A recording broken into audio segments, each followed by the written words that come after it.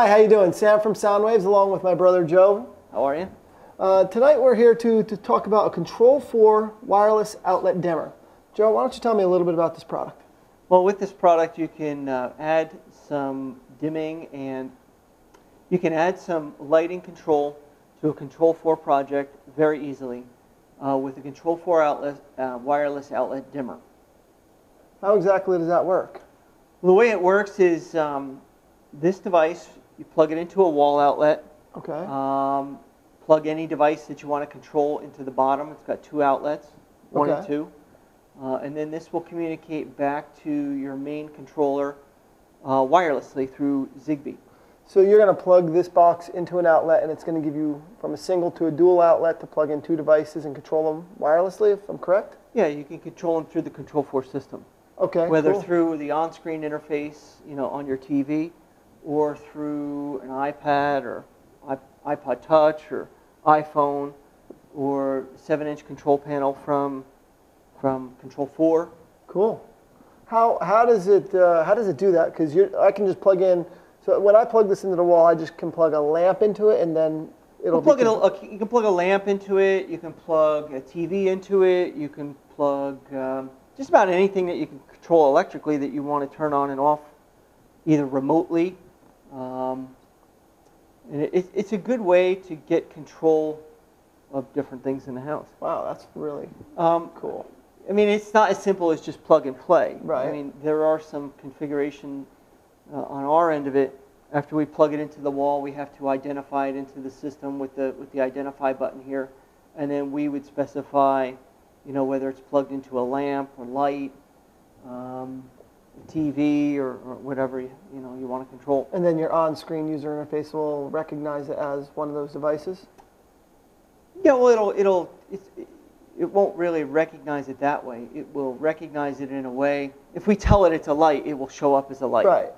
So if it, if it, we tell it that it's uh, you know a TV, it's not necessarily going to show TV on there, but you know we can make it w- with a cer- certain icon. Cool. That's cool.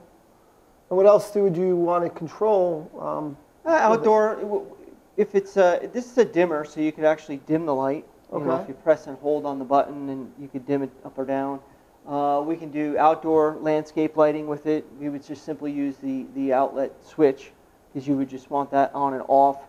Uh, and then we can set it up on a schedule so that, you know, at a certain time of the day, the landscape lights go on, you know, and then they shut off at, say, 1 a.m. so this this module here, being the dimmer one, is really pretty much for lighting. And This is then you really have a- used for lighting. And yeah. then you have another box like this that's It looks used identical, but it's just a switch. and it's just on and off. On and off, that's it. Cool. So those are two really hot devices from Control 4 that makes uh, wiring your house and Well- having some. Let's, let's show how we use it. So I've done a little configuration with this one already. I've already programmed it in, into our Control 4 system. So I have an outlet strip here. So we can plug it into the, uh, the outlet strip. And then it'll power up, and once it powers up, the radio will communicate back to the Control 4. Um, So you have some little power LED lights here. yep. If you can see those. So I'll plug the lamp in here. I'll plug it into uh, number one because that's the one I've already configured. And then uh, I'm just going to use my iPhone. So I've, I've already plugged it into, into our system. Uh, we could even do it on one of our on-screen interfaces here on, on, the, um, on any of our stations here.